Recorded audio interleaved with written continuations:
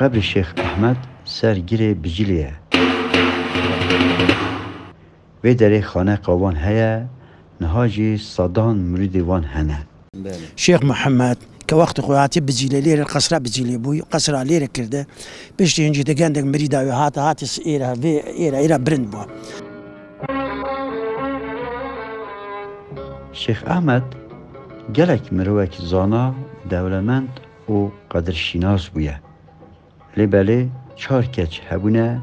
چکر چه نبونه دما شیخ احمد پچوک دمرید رسپی عشیرت حسناکن چی کسک بشته شوناوه بروی چنده که چاوه زریفستان دانم زریفستان دما چوی شونا باب خواه هشت دو سالی بیه